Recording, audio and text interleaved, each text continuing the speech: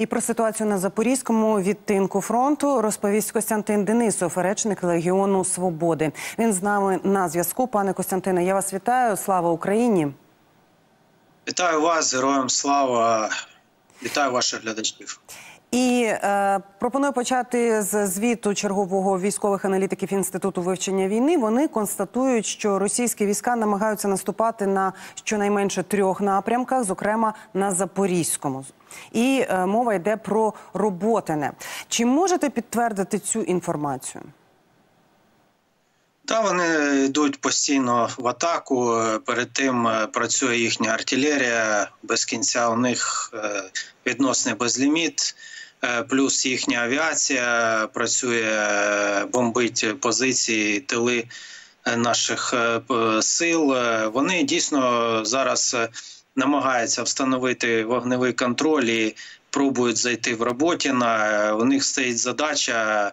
Ну, навіть не задача, у них як в народі кажуть, ідея фікс відновити контроль і знову його зайняти, тому що вони його втратили під час бойових дій другої половині 23-го року, втратили, незважаючи на тотальну перевагу в живій силі і техніці. Вони постійно посилають свою піхоту на штурм. Тут у них основне це десантно-штурмові підрозділи, плюс мотострілецькі підрозділи, які за під прикриттям бронетехніки намагаються вибивати наших хлопців з посадок, з лісополок, з з опорних пунктів. Хоча, хоча знову ж таки, говорячи про лісополоси і посадки, ми маємо розуміти, що від них там тільки якісь обгорілі кущі і піньки залишилися, тому що росіяни перед тим артилерію все випалюють. У них тут на озброєнні мінімум двох підрозділів є ті ж самі вогнеметні системи сонцепьок, які вони підганяють і просто квадратами накривають, випалюючи все.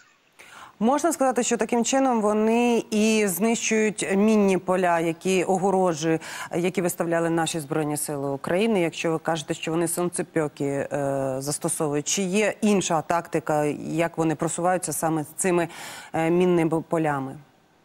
Вони знищують ці мінні поля своїми трупами і своєю спаленою технікою. Зафіксовано два факти, коли їхня ж бронетехніка підірвалася на саме на цих полях, і плюс їхня там піхота. Вони розміновують і, і м'ясом, і технікою.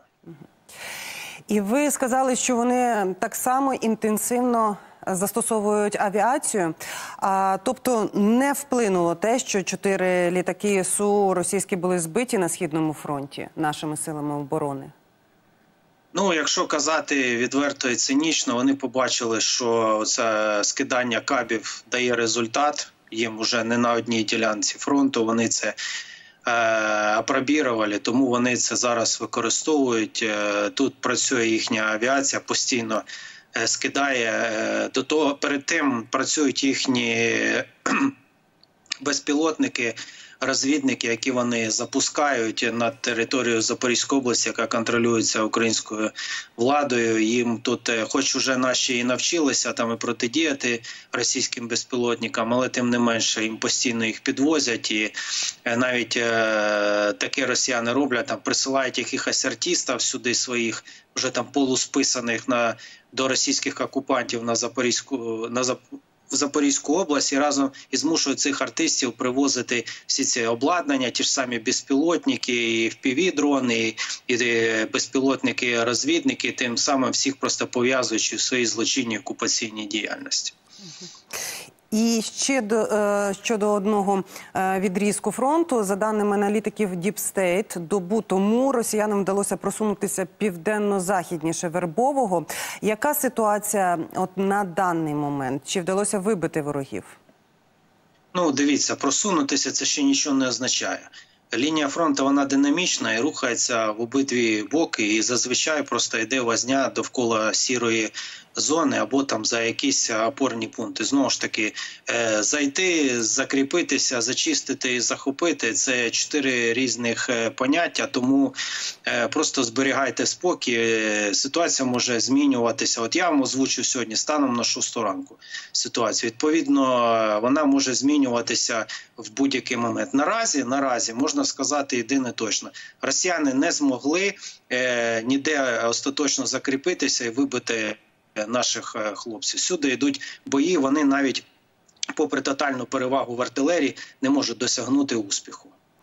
Тоді таких е, непрямі ознаки. Е, Чи формують вони ударне угруповання? Що відомо про їхні тилові резерви? Чи підтягують вони ці сили, чи вже застосовують? Е, у них тут основа це десантно-штурмові підрозділи, мотострілецькі. Вони сформували ще додаткові штурмові підрозділи, які зараз намагаються там в районі Роботіна щось там возитися. Е, основа це підрозділи з північного Кавказу.